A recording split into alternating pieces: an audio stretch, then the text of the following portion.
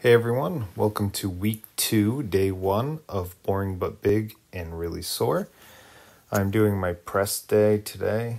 I'm actually still sick at this point, uh, but I have the gym to myself, so I'm not worried about getting anyone else sick. I decided to do strict press today. Uh, I haven't done strict press with the barbell out of the rack for a while. Here's 175 for a set of three. It moves really fast.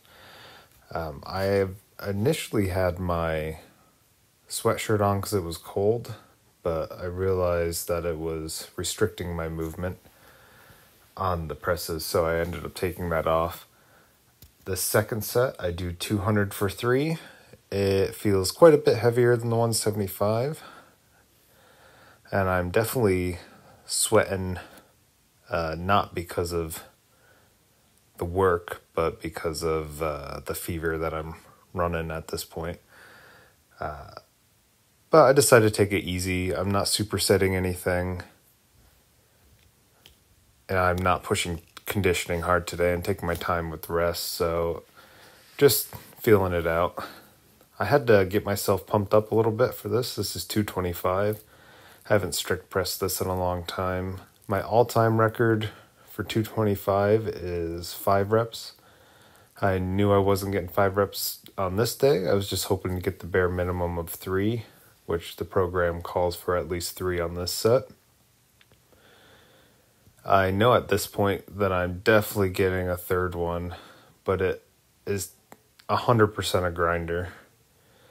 Uh, there's no way there's a fourth one in there, not today. But I think as I continued to work on strict press again, that I'm going to be able to surpass that five reps here in a few weeks with 225.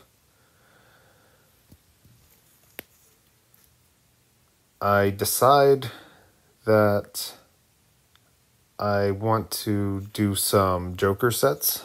So just adding a little bit of weight and doing singles. I haven't gotten enough pressing out because I only got three reps on my as many reps as possible. So there's 230 for a single. And then I attempt 235 as well. I know I'm right next to my max when my left arm starts to press faster than my right arm. I haven't figured out why that is. My right arm is definitely stronger, but when I press with both of them, my left arm seems to press much faster.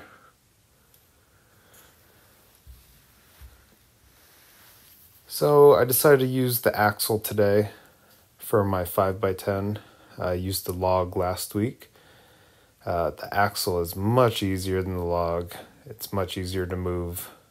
I am better at a barbell or axle than I am a log or a neutral grip press any time of the day.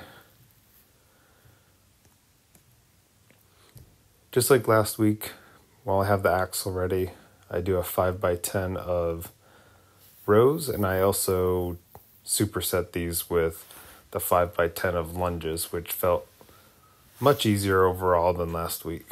Small little tip uh, you get an extra press if you take your lunges from the ground, like I did here. So I get an extra press on the front, and then I get an extra press when I'm done with the lunges from behind the neck. So whatever I do during this workout, I get an extra 10 free presses with the 110.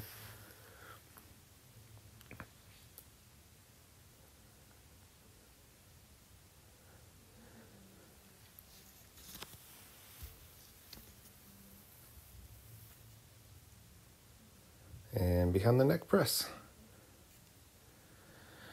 All right, this is double speed here. Um, I am doing a shoulder circuit, so I did pin press with the axle for 10 reps, then tricep pushdowns, uh, front raises, and then face pulls, and moved right into Z press with the axle, tricep pushdowns, front raises, and then face pulls. And this one I ended up doing 15 reps of just regular barbell or regular axle presses and then did this drop set of triceps. I don't do the drop set for all of them, just the last one to get every bit of energy out of my arms. Uh, thinking back, maybe it wasn't so smart because the day after this, I plan on doing bench, but the bench workout ended up being completely fine.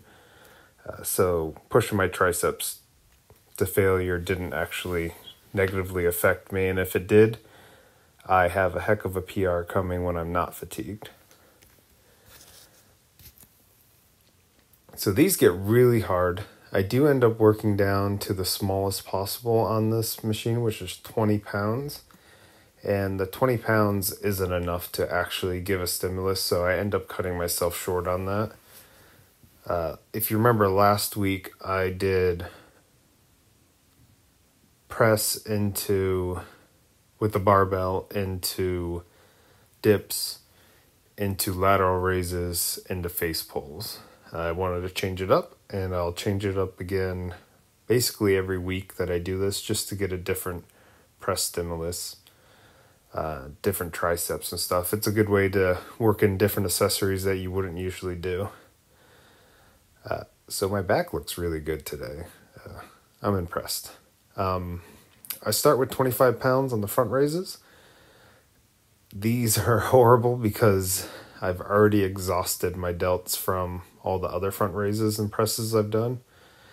And just like the tricep pushdowns, I work down five pounds at a time. I go down to 20s and then 15s, then actually have 12s, 8s, and then finish with some 5s. I even have 3s, but I don't decide to use those. Uh, I end up getting really swollen and a really good pump. Um, my delts actually turn a pretty bright red at one point doing this, and I try to show you guys by doing a set facing the camera. It just doesn't show up very well. If you can't tell, I'm still congested right now. Uh, but like I said, I did get a bench workout in today, and I was really happy with it. And you'll see that video tomorrow, probably. So, here, like I said, I tried to show how red my delts were. I just didn't show up on camera. Uh, instead, you just get dad belly and bald head. So, sorry about that.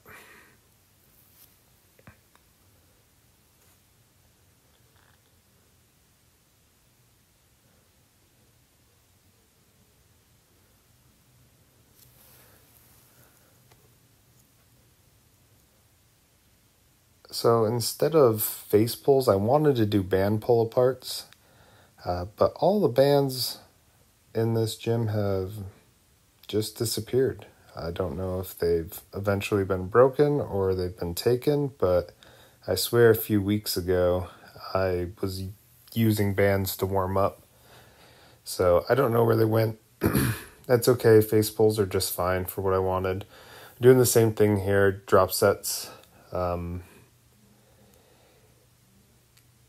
I'm having a hard time with these. Uh, I know they're a rear delt and upper back workout, but my front delts are so fried at this point that it's actually the pump in my front delts that's preventing me from getting more reps than I want here.